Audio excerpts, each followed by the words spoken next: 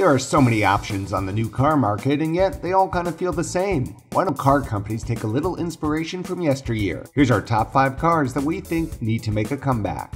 First up, the Toyota MR2. Toyota's mid engine rear wheel drive sports car brought the need for speed to the masses. Production of the zippy Critic Starling ended in 2007, and 15 years later, there's a gaping hole in the affordable sports coupe space that a resurrected MR2 can easily fill.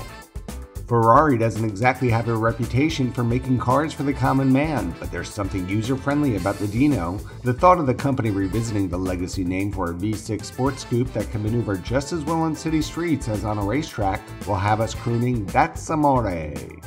What do you get when Dom Toretto settles down to become a dad? A Dodge Magnum. This Charger come grocery hauler was well reviewed but didn't exactly shape up the car industry. But times, they are a changing. Maybe it's time for a revisit.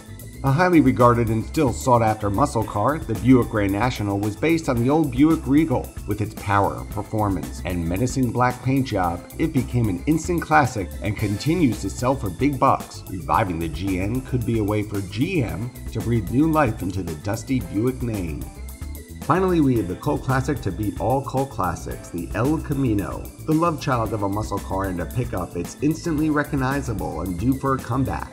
Pickup trucks are all the rage right now, but after a while, they all look the same. Who wouldn't want a little El Camino in their lives?